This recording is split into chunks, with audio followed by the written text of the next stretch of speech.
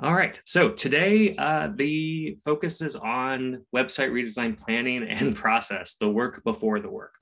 Uh, so your organization is um, uh, beginning to think about doing a website redesign, or maybe in the in the early stages uh, of a website redesign. And this is to help you provide, uh, or help you get kind of like a framework for some of the foundational work you can do, um, even before you start the process formally. Um, if you are doing this before, uh, you know, you you go into an RFP, it'll help your RFP be much more focused. Um, the the idea is that there's a lot of groundwork that you can and should do before you actually quote start the redesign process. Um, so this is what we'll get into today.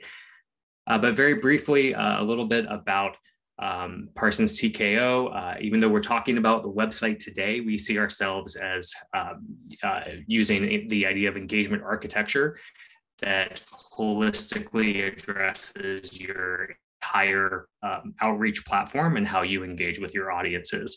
So again, we'll be focusing on the website as one of those touch points, one of those ways that you engage your audiences. But as you'll see throughout, we'll kind of talk about how that relates to different, um, uh, you know, other platforms uh, in your engagement architecture and other people and processes. All right, so what are the elements uh, of success, some sort of foundational things that you can do to make sure that your website uh, redesign project goes well. Uh, so there's we'll kind of focus on four four areas, either and any of which could be its own kind of in-depth process, but we'll kind of touch on try to touch on all of them. Uh, so the first is gather your people. Uh, so websites. Uh, website redesign uh, is a, a tremendous opportunity to get people together um, and uh, and start to build a community of consensus um, and build a community of strategic input uh, across organizational silos. So as you're starting to think about the website, think about the people you know who should be involved uh, and it's going to pay off in a lot of different respects uh, the second element is trying to get really clear about your goals uh, your audiences and the interactions your site uh, needs to support to help you define those goals or to help you meet those goals you know a lot of times people when they are undergoing a website redesign they think okay well what's how's it going to look different? What are the new features going to be? Uh, uh, you know how what, what content what content can we get rid of? Kind of get you have to go back to basics um, of what you're trying to do who you're trying to reach and how they're going to interact with you. Another key step is organizing your content. That again we've done we've done other webinars on taxonomies and inf- information architecture content organization and content planning is a huge part, um, but you can start to kind of get a handle on what you need from uh, content in your redesign. And finally, I'll touch on this briefly at the end, but planning for integrated engagement. Uh, again, one of the one of the challenges we see uh, organizations facing when they do website redesign is a lot of times the website redesign can suck up a lot of the oxygen and sort of leave other engagement, uh, other aspects of your engagement architecture uh, uh, you know either leave them to the wayside um, or you know not not really give them room. Um, but you know you need to think your website is one of the many tools that you have at your disposal for engaging your audiences. So you want to be thinking well how are we going to be using email um, moving forward? How are we going to be using our crm moving forward? If you have an events system volunteer systems donations etc all are the all of these pieces relate to the the website um, and really planning for those holistically is going to, to benefit you in the long run. Okay. So just another another point on that before we get into the website redesign process. Um, again, that your website is just one part of your engagement architecture. We have this graphic that we like to show that really puts your audiences at the center um, because you are trying to deepen engagement with specific types of audiences, but also individuals. So your website is one way of communicating and engaging with those individuals, but it is one of many, right? So it is you people find you through search, they engage with you on social media, they come to your events, you email them from a list or from many lists. Um, and for, to facilitate lots of different types of uh, interactions and engagements. So as you are thinking of your website redesign, you know, really think through the other platforms that are part of your engagement architecture, um, the people that are involved, uh, and you know, often we are uh, working with people in the communications team, um, uh, or you know, communications or marketing or outreach who or have traditionally had like ownership of the website. Um, but it's a great opportunity to really think across organizational silos and say okay how are we engaging with our audiences across the board and what role does the website play in that? Uh, and then also looking through the processes that are involved uh, in in uh, running a website, creating content for the website, syncing content for the website up with email, um, syncing it up with social promotions, etc. Um, a website does not exist in a vacuum, and uh, it's kind of thing you get a nice new car, you got to run it, you got to maintain it, uh, you got to make sure that people know how to drive it and things like that. So just pulling the pulling the lens out a little bit there. All right, so step one, gathering your people. Um, so we'll just talk about some principles for gathering people. I'm not going to spend a, a, lot of time on this, but just some helpful um, uh, tips and ideas for uh, the the the people part of the process. So early on, thinking about who are your project champions, who is you know who who has a clear vision for the site, um, uh, investment in the site, um, someone who is going to do the legwork of, of facilitating and gathering internal um, feedback um, and, and really champion, champion the site.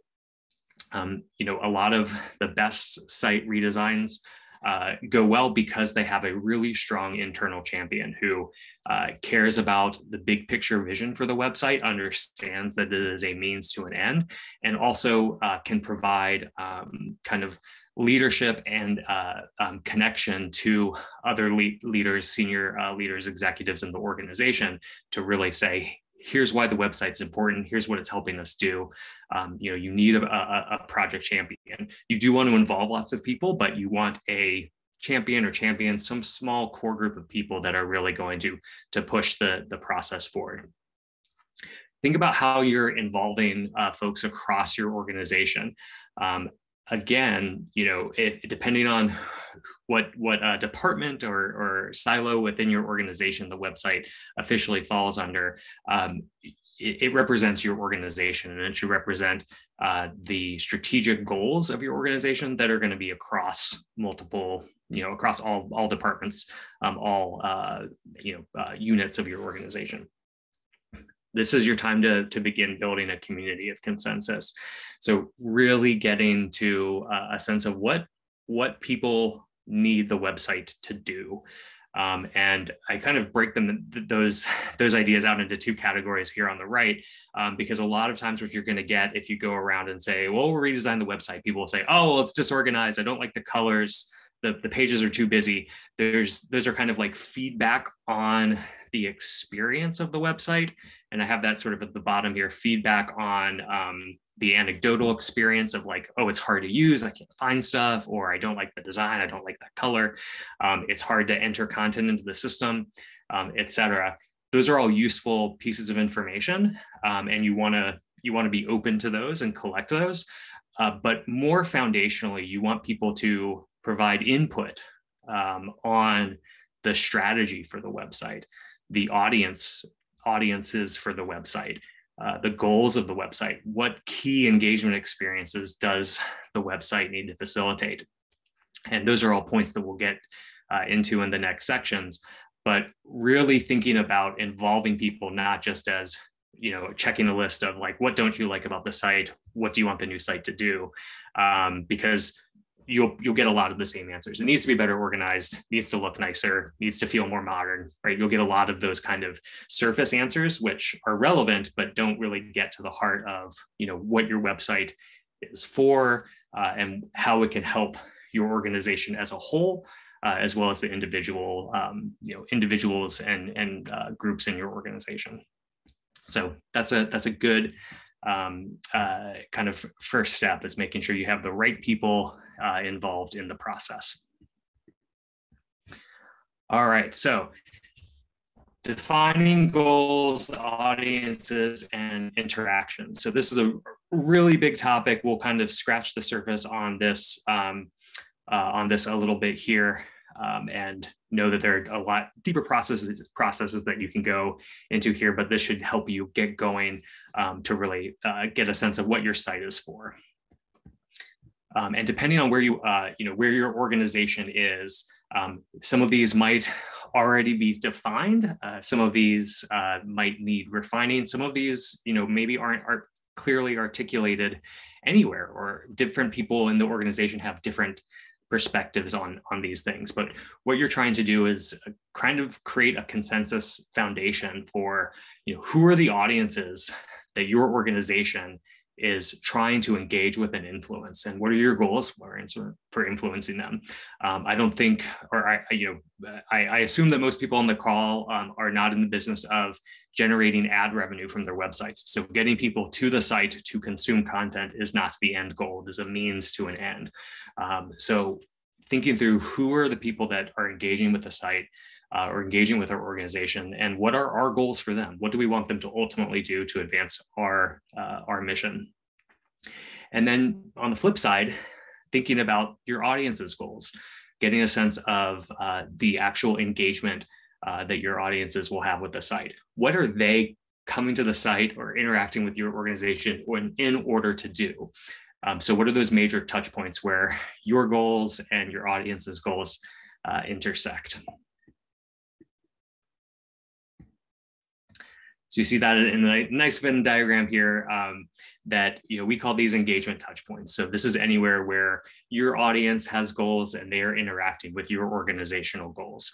So you are trying to influence your audiences, build affinity with them, engage them, and they're coming to you to answer questions, to complete specific missions to to to to get things done in one form or another.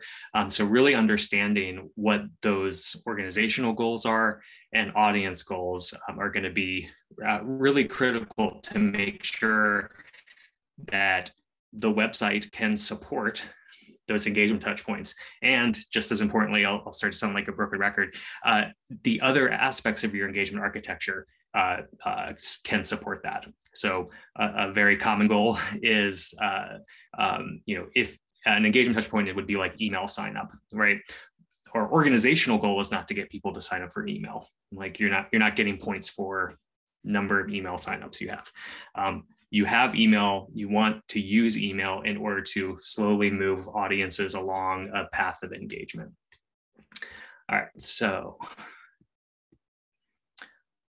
overlaps. So one of the reasons it's really uh, useful to get to, um, to, to, audiences um, is that many of your audiences, some of their goals will, will intersect or overlap. Um, some of the content needs will, will overlap. Um, so what you want to actually uh, do, and we'll, we'll do an exercise on this in a, in a second, is think of like what what you're trying to do with your audiences and what they're trying to do with you. Um, some audiences have particular needs that then you'll need to address in specific ways. Um, many audiences have uh, general needs. Um, so maybe the same piece of content, content can serve seven different audiences. You don't necessarily need seven different versions for each audience.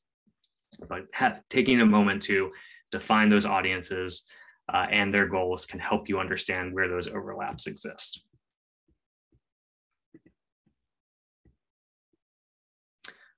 All right, I have two, I have a question here from Alex. So by engagement touch points, you're referring to touch points on the website like email sign up, membership sign up, donations, etc.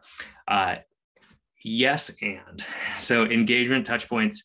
Um, in, in this context, we're talking mostly about engagement touch points on the website, um, but holistically, we think of engagement touch points as anywhere your organization is engaging with someone.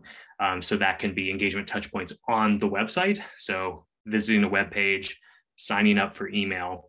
Um, at that point, once they've signed up for email, their engagement touch point will be through email. Um, you can send them emails to to donate, at which point they have a touch point at email and a touch point at a donation page or a donation process. Um, if they hear about you from social, that's another place where um, they're having an engagement with you. So yeah, while we're focusing mostly on engagement touch points on the website here, um, we think of it more more holistically in terms of all the different ways that that you uh, interact with your audiences.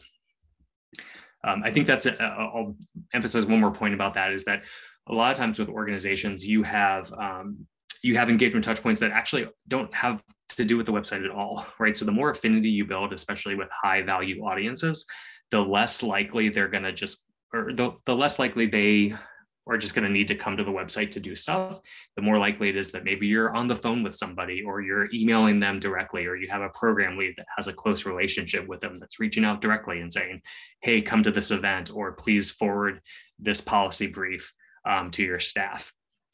Um, so capturing those types of interactions and engagement touch points is really critical um, because your website is um, it's it's a uh, again it's it's a vehicle. And often it doesn't know as much about who's there who's visiting it and what they're trying to do.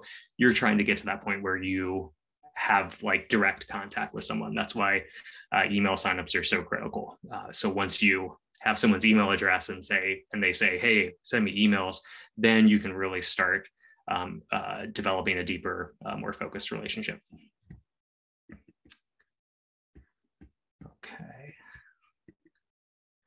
all right so we're going to do uh, a, we're going to do two exercises and to talk about organizational goals and audience goals. And this is actually a screenshot from one of the workshops that we run uh, where we kind of really dive in deep and break down uh, and explore these different uh, aspects of a site. So if uh, people want to write write on a piece of paper or submit to um, put put their ideas in chat, I want you to take a second to think about your audiences and what you want them to ultimately do. So, what your organization needs your audience to do uh, in order to advance your mission. Uh, so, in the in the structure of we need an audience to blank to to do something specifically. Um, so, I have two different examples here from two different types of organizations. So, the first one is we need policymakers to implement our policy recommendations and to publicly advocate for our policy recommendations. Again, this is high level organizational goal. Um, there are ways that you can push policymakers along or support them in that, but those are not the end goals, right? You target policymakers because you want them to Im- implement policy. Um, from another type of uh, organization, we have we need parents to improve the mental health of their children and advocate for mental health in their schools and communities. So this is a mental health organization um, that is trying to improve mental health um, in across the board, or maybe specifically in children. But they're saying, hey, we need parents to play an active role in improving mental health uh, and mental health outcomes. So I'd love uh, to take for you to take just a few minutes uh, to write down a couple examples here and uh, any any volunteers that would like to throw uh, throw an example in chat that would be great. Um, if we could have a couple examples in there. So I'll pause for just a second or a minute or two. And also feel free to put in chat if there are any questions uh, about this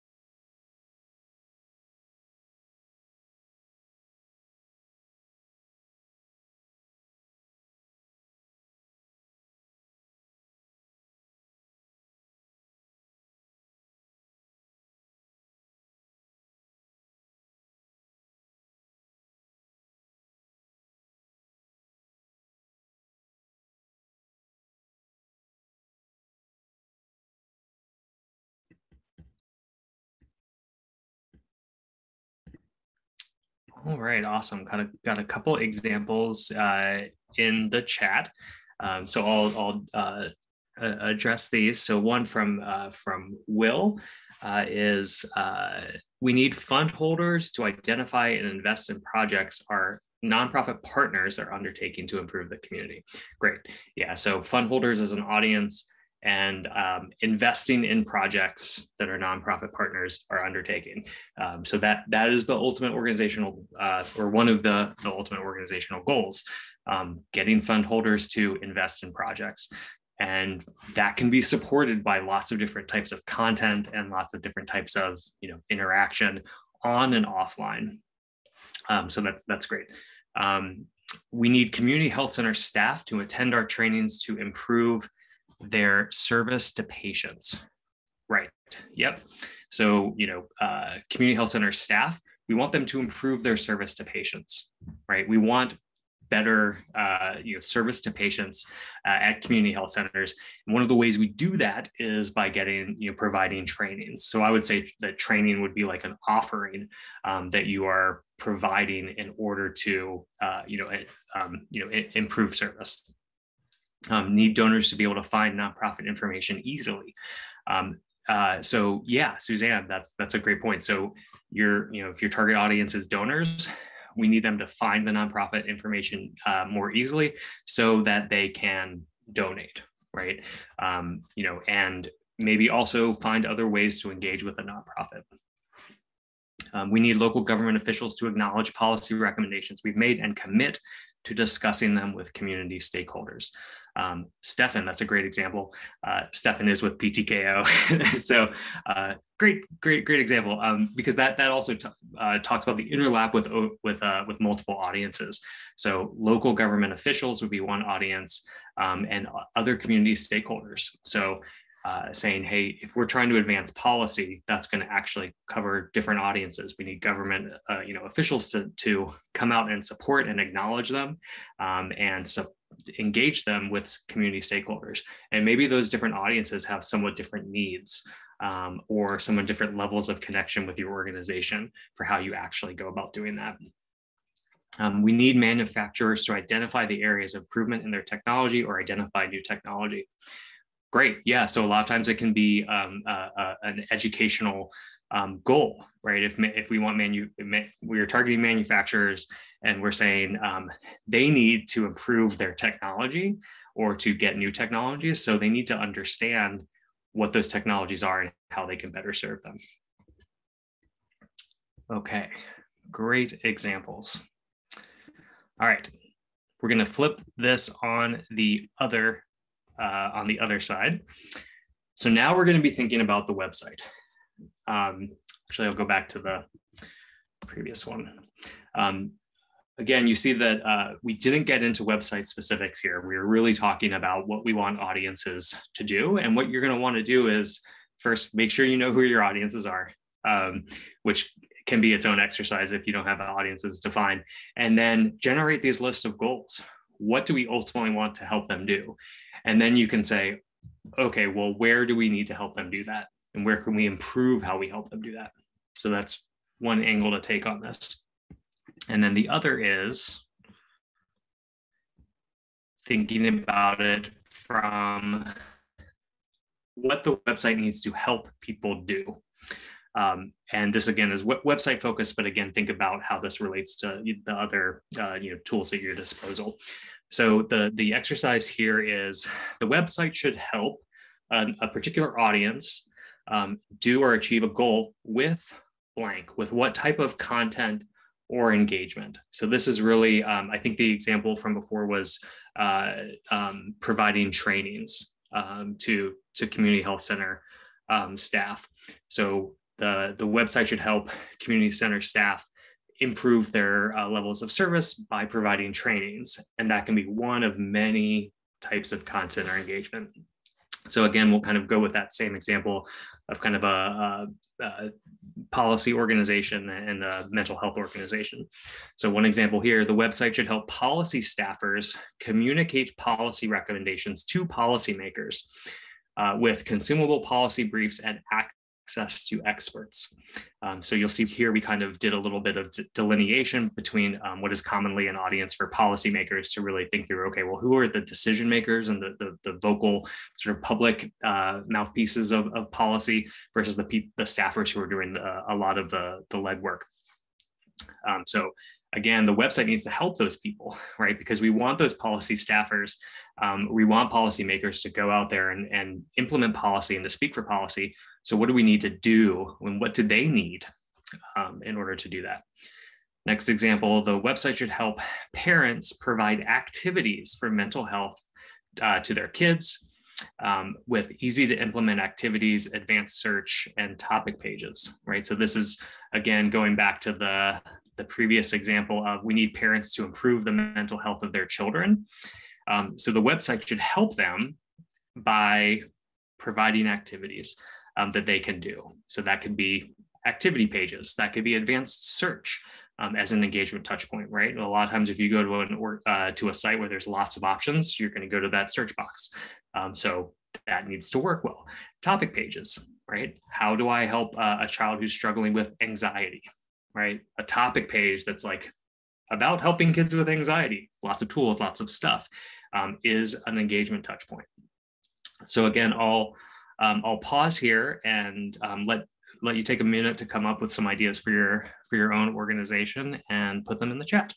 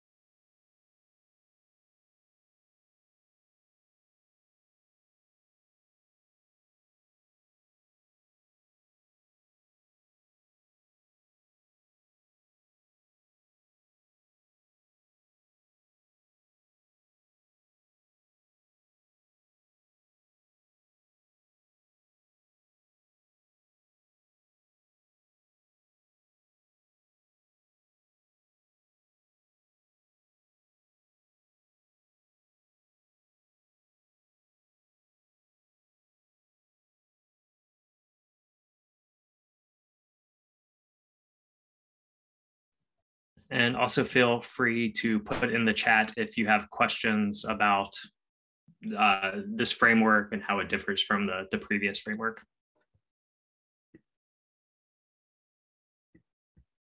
Yeah, so Alex put a, a great example in here. The website should help health center staff uh, improve patient care by making it easy to find relevant trainings.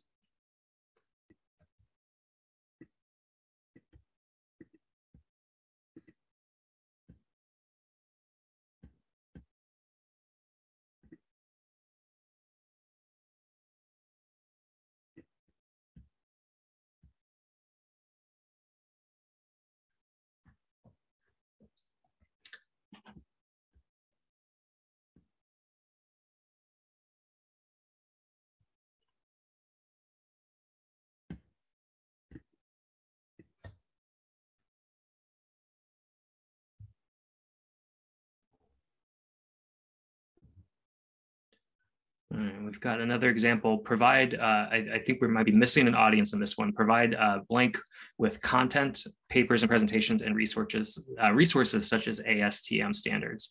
Um, yeah, so I think I think with that uh, with that example, um, we'd want to know uh, kind of what uh, who who the audience is, um, and you know what what ultimately we are trying to help them um, help them do uh, with that with that content? Are they trying to uh, you know learn about new standards? Uh, it looks like maybe this one is a um, continuation of the other one. So if they're trying to understand new technologies, um, we need to make sure that we can provide resources. Um, all right, and Reed says the website should help people with lupus audience find the resources they need with clear navigation and content surfacing. Um, yeah, so the websites uh, should help um, uh, you know particular audience, people that have lupus with resources they need, um, and the way that you do that is clear navigation and content surfacing. Um, yeah, that's great, and I think that's that's another area where you can. Um, we'll talk about content here in a little bit, but where you really want to dig in um, about resources and what types of resources you have. Uh, and how those are categorized, because um, that's you know any of these you could really dive in um, uh, dive in and, and explore. Um, Bonnie, the website should help military chaplains become aware of moral injury with targeted videos on this topic. Great. All right, so the website, uh, military chaplains is the the the audience. Um, you have a kind of a specific educational goal in mind, so learn about moral injury, and then content or an engagement touch point that would support it. Um, again, the, the, the, these are quick examples of this. You'd obviously, you know, with a particular audience, you'll have multiple goals. Um, uh, and for each of those goals, you'll have multiple ways that you can engage people. Um, and what you want to be doing um, for, uh, you know, as you do this is sort of grouping similar goals together, grouping similar types of content together, uh, and, and seeing how those can serve multiple audiences. All right, Stefan, the website should help policymakers find exactly the content they need to help their directors, representatives set their agendas with curated outputs of content explicitly to their interest and easy ways to get in touch with, with us for support. Excellent. Yep.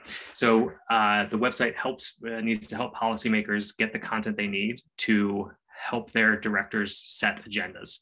Uh, and the way that we can do that is curated outputs of content. That means that if you're a policy staffer interested in a particular topic or particular issue, you're getting the content that's going to help you. Um, uh, so that's curated outputs, um, easy ways to get in touch uh, with us for support in planning public events. So uh, curated content that's relevant to that uh, particular audience's issue, easy ways to get in touch. So, hey, if I'm interested in an issue, who do I need to talk with at the organization? And that idea about planning public events. What are the things that uh, they can do specifically um, that uh, can be helpful? Uh, the website should help connect donors to nonprofits uh, with advanced search, links to partner websites, photos, and impact statements fantastic. Yeah that really gets that starts to get really detailed about the specific touch points of what needs to be there.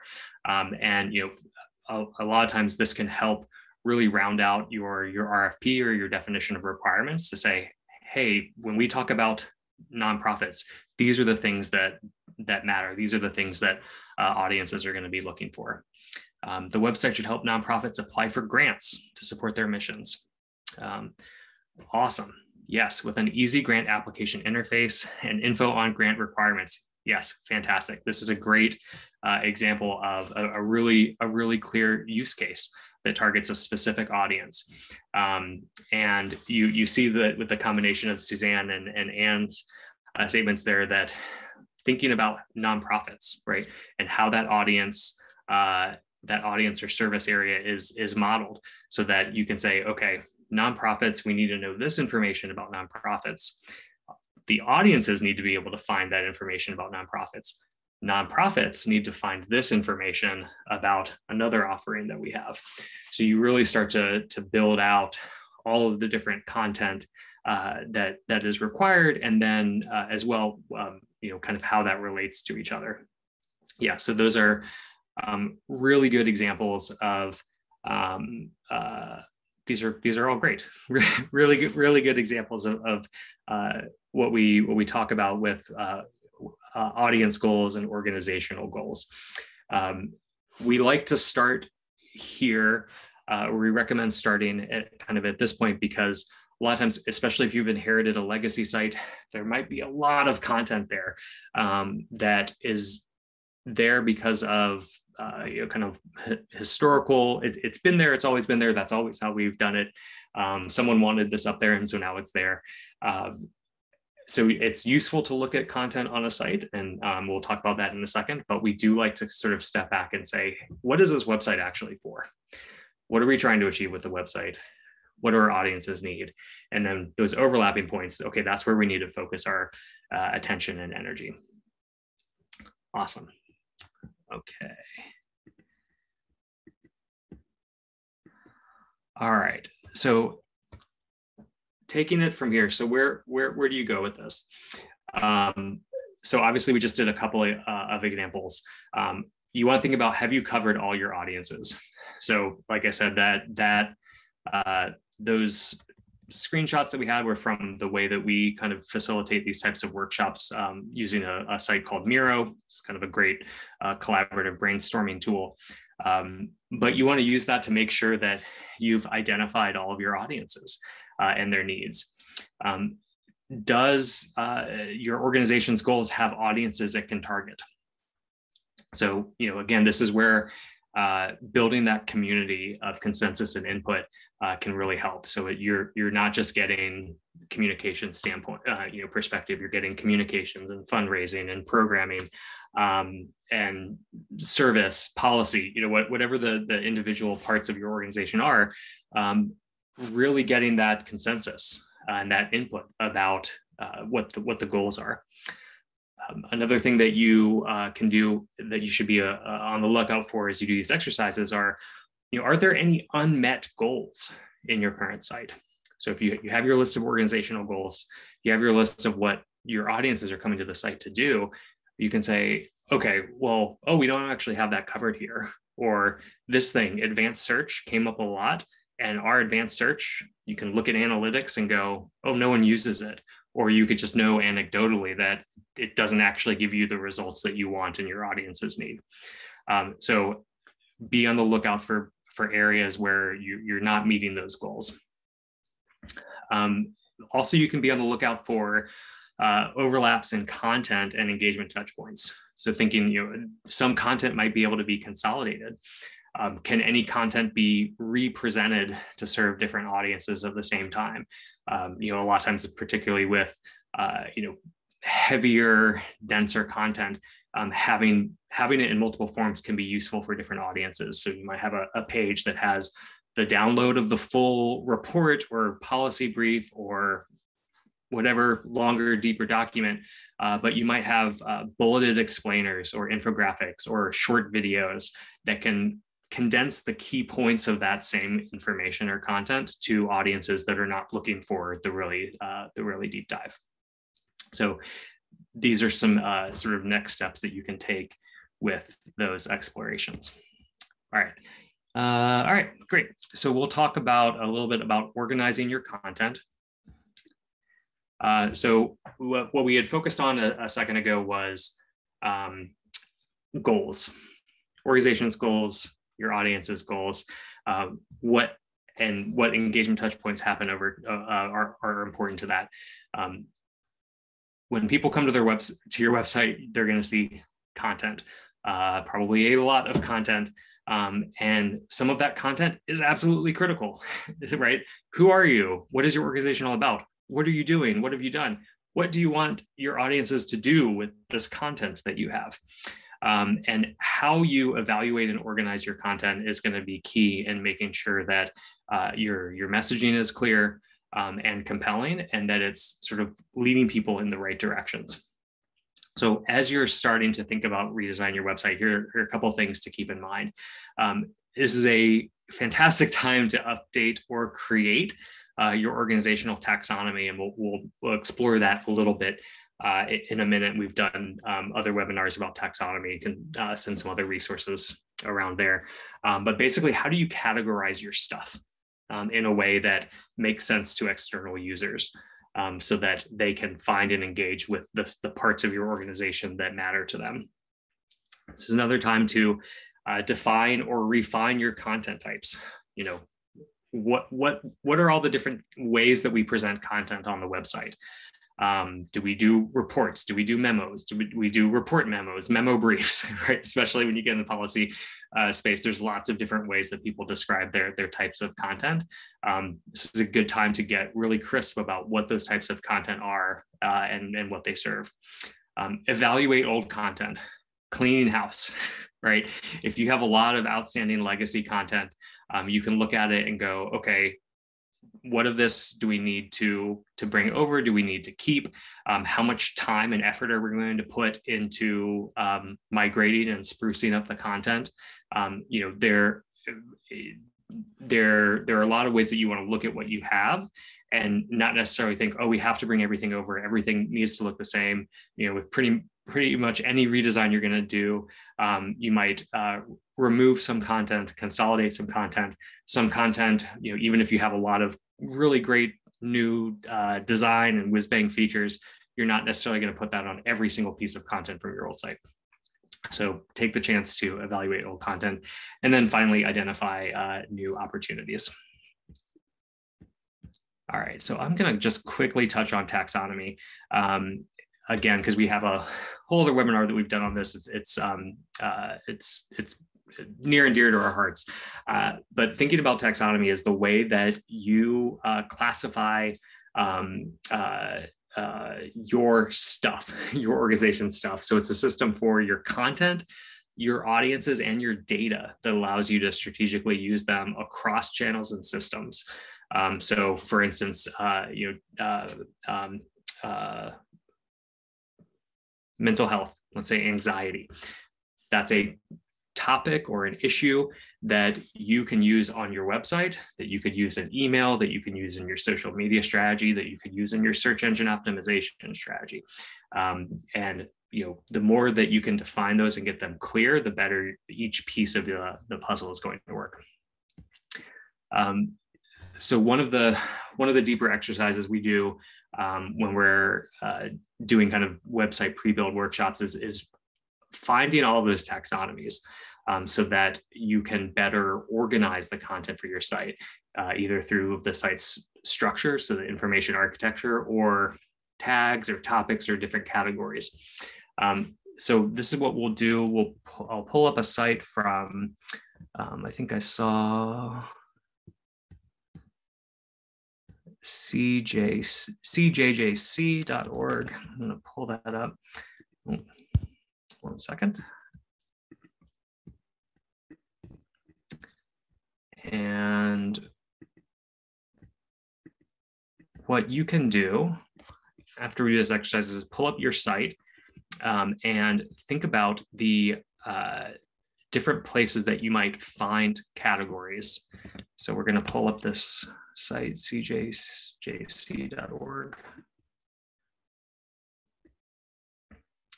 All right. Awesome. Thank you. All right. So when I when we talk about taxonomies and organization of content, what one of the first things that that we recommend doing is kind of going through your your top level navigation and seeing how you currently organize it. Um, so uh, I see our work, housing, land, and development, immigrant rights, um, organizing history, rights-based services, civic engagement. Um, so I see that uh, you know housing, land, and development could be a topic. Immigrant rights could be a topic. So maybe we have like an issue areas kind of taxonomy, where if someone cares about immigrant rights, if we define that as a taxonomy, we can say here's all of our content on immigrant rights. Um, sign up for emails on immigrant rights, and then you know about that uh, in your system. Uh, same for housing, land, and development. Um, so when I see rights-based services, um, I see Oakland tenant services, San Francisco tenant services, immigrant rights services. Um, and this is an area where I would wonder, okay, are there um, are there other rights-based services? Is you know, are you know, are there multiple um, examples of this that then could be sort of elevated to a taxonomy? Um, I see publications, so reports, blog. So that's that starts to straddle the line for me between um, uh, taxonomies uh, and and content types. So this is the stuff that we put out there. So you can say, oh, we put out reports on housing, land, and development. We put out reports on immigrant rights. Um, we do blog posts about our rights-based services. Um, I see in, in, the the header here, I see displacement. Um, and you know, is displacement a, a topic, um, or is that uh, kind of part part of housing, land, and development. so what you can do um, is sort of go through, kind of scan the top level and see, okay, how do we categorize our work? How are people looking for us?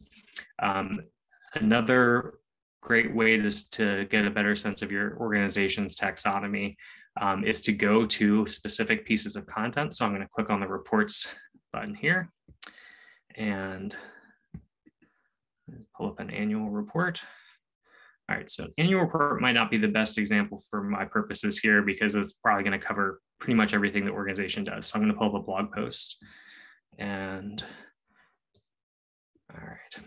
So an exercise that, that you can do uh, is take a, a piece of content like a blog post and think of all of the, the labels that you could use to, um, to identify this that, um, that users might uh, be interested in. Um, so Oakland, right? I might care specifically about Oakland. I might care specifically about gentrification.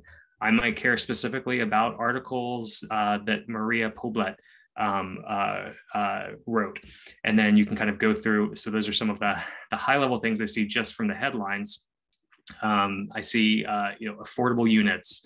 I see uh, East Oakland. I see Oakland Mayor, right? Um, so these are all things that are uh, metadata or taxonomies around this particular piece of content that people might be interested in knowing more about. Um, uh, so that that's an exercise that you can do to really get a sense of how are we going to categorize all this content.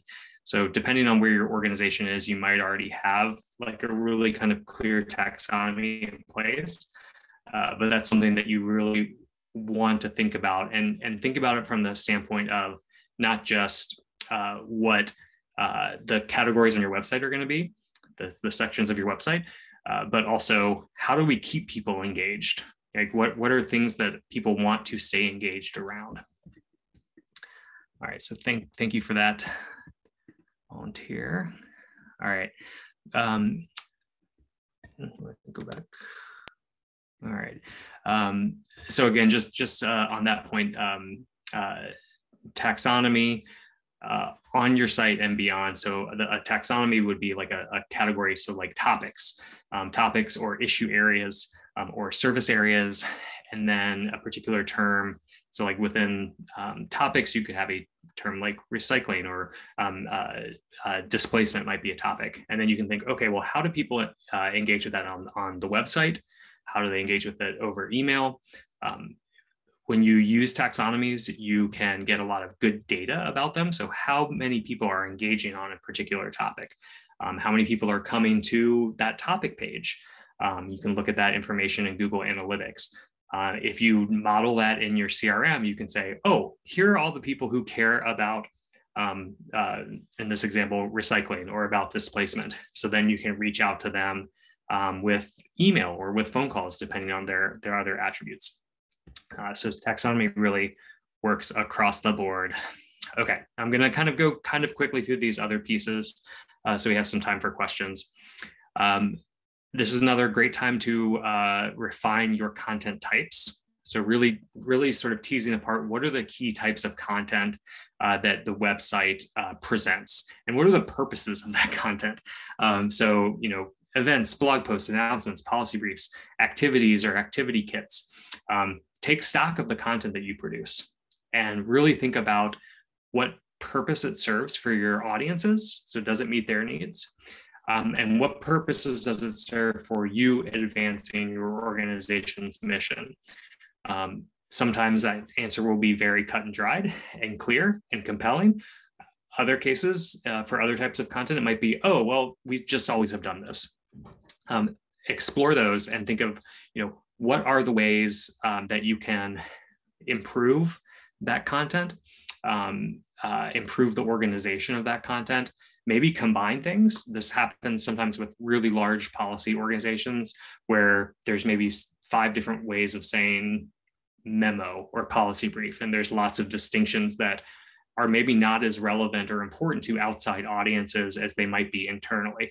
Um, so that's the, the last point I'll make there is as you're doing this, remember that um, a lot of times the organization, your site's website and the content that's presented, the nomenclature that you use um, is reflective of your internal organization. Um, uh, uh, your your org chart, the way that you see the world, the way that you categorize your work, um, and take the time to think about if your if your audiences actually know that model or b care about that model right if i'm um, if i'm looking for mental health resources about anxiety in children I might not care that you have uh, an anxiety department, right, that goes through an anxiety subcommittee that's part of this other committee. I don't care about that, right? That, that's how you get the work done. I probably don't care. I want to know, I have a, I, I need a video to help me understand how I can explain anxiety uh, to my seven year old. Um, so really going through that exercise. Uh, a couple other quick things, and again, we'll send this around after the uh, after the the webinar. Thinking about does it serve a purpose? Does it need to be migrated? Can we improve the content? Analytics is your friend here.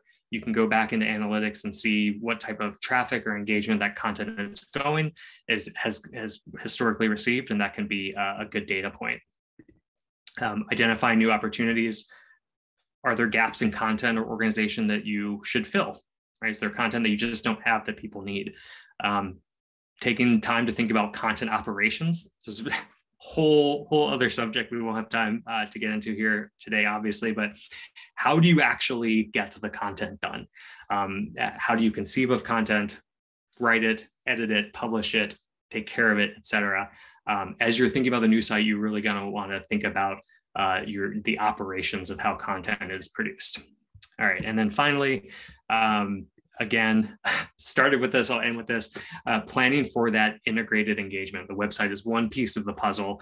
Uh, you want to be taking the time to think about how you're going to be getting visitors to the site, how you're going to convert and capture those visitors. Uh, so through a donation, through an advocacy ask, through an email sign up. Um, what does that look like? And then how will you nurture, sustain, and deepen those relationships with groups and with individual contacts, right? Um, again, a main goal website is to get that email, to get something where you can create that more direct connection. Um, and then what are the other platforms, processes, and people that are going to be uh, required to achieve all of those things? All right, so that was a lot in a short amount of time. Um, uh, we have time for questions now. If you have questions and want to throw them uh, in the chat, I would be happy to uh, address them. Um, and uh, yeah, I see Lisa has put in the chat um, the website Miro, uh, which we use uh, and love. It's a really great collaborative tool um, for brainstorming, documenting. Um, it's great for distributed remote work because uh, people can get in and, and basically have the equivalent of like a giant whiteboard with sticky notes. Um, and Mickey sent uh, put a link to our taxonomy webinar recording where go into a lot more depth about what taxonomy means. Uh, so I help I hope that that is a helpful uh, kind of overview of some of the key things that you should be thinking about uh, before you really start the uh, your your redesign process. Again, the more that you can think about that before you before you really start um, before you you know uh, start talking to uh, developers or designers or web building firms or, or any anything of, uh, of that nature, the better you're going to be to uh, the closer you're going to be to, to being able to articulate what you need and how they can help you get there. Um, so with that, I will just pause and see if there are any uh, any questions. Um, oh, we'll, we'll send around the recording afterwards. Uh, if you'd like to talk more with me, um, you can find me on LinkedIn. Uh, we you can email email me. You can email any of us here uh, at um, uh, PTKO, and we're happy to talk with you. Uh, and uh, um, we do uh, more in-depth workshops with organizations that go into all of these steps and help you really kind of get a game plan for your website redesign. Um, so happy to talk with you about this as well. And thanks again for joining us. We'll stick around for a second if we have questions.